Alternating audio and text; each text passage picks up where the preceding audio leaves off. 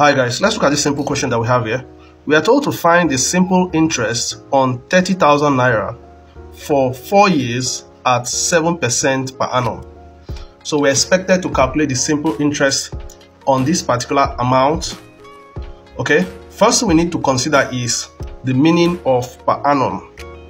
Per annum means per year, okay?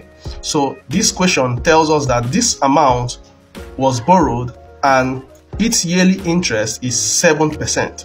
Okay, so we are going to use the formula for calculating simple interest to calculate this problem.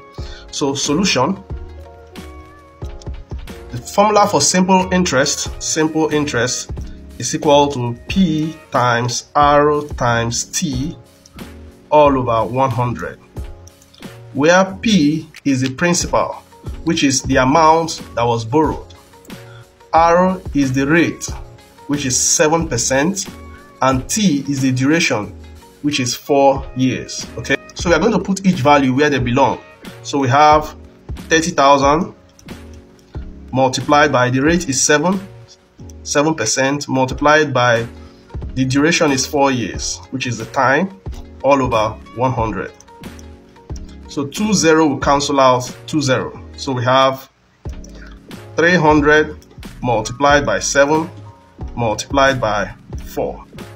300 multiplied by 7 is going to give us 2,100.